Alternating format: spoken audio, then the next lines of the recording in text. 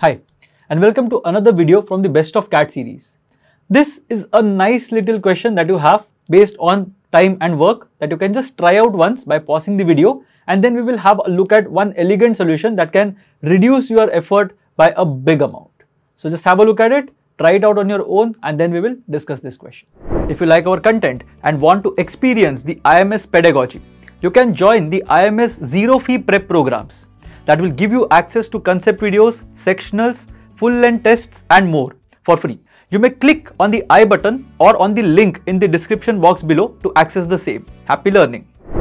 In this question, there are two people and they are doing a certain job by splitting the work between them. So what happens is initially A works till half the job is done, then A and B work together for some bit and then what happens is B finishes the remaining 5% of the job. Now what we can do in this case is we can observe very nicely as to what is happening between A and B, the dynamics that are going on between A and B. Now we know that B needs 25% more time than A to finish that particular job. So let's say for example, I'm just taking a random example here. Let's say for example, A does this particular job in 100 days. If A does this particular job in 100 days, then B will need 25% more time to do this job, meaning that B will do the same job in 125 days. That is the logic. The other way in which you can think about it is, right, whatever happens, whatever happens, B is taking 5 fourth of the amount of time that A is taking to finish this job. That is the thing that is meant by 25% more time. So whatever number of days A takes, B will take 5 fourth of these number of days. Now the other interpretation of this is, this is happening because B is working at 4 fifth of the efficiency of A. Very important thing to note here. Because both of them are doing the same amount of job, B is taking 5 fourth of the amount of time, it means that B is working at 4 fifth of his efficiency. If you are finding it difficult to understand this, you can just visualize a normal scenario wherein let's say for example there are 20 units of work to be done, right. Let's say for example that A does this piece of work in 4 days, B will do this piece of work in 5 days.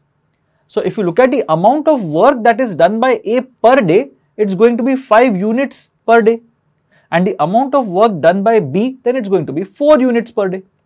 So now you can see that the efficiency of B or the amount of work that is being done by B every day is 4 fifth that of the amount of work done by A every day. That is a very important observation. We'll use the same observation here. So now that we have figured out that B is working at an efficiency of 4 fifth of that of A's efficiency, let's see what exactly happens here.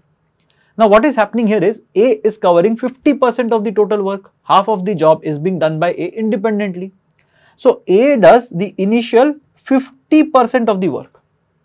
Then A and B together do something and then B does the remaining 5% of the job.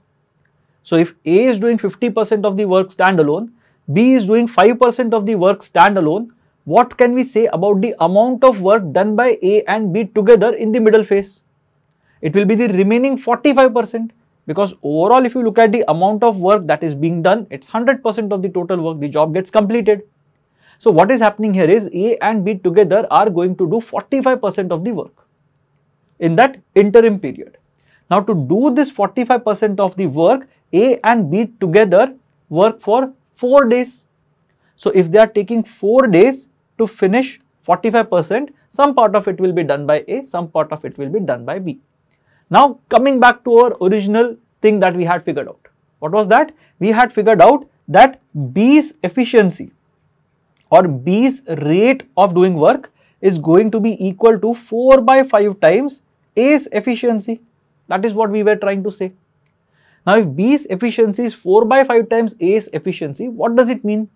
whenever A does let's say 5x units, whenever A does 5x units of work, B will end up doing 4x units of work in the same amount of time.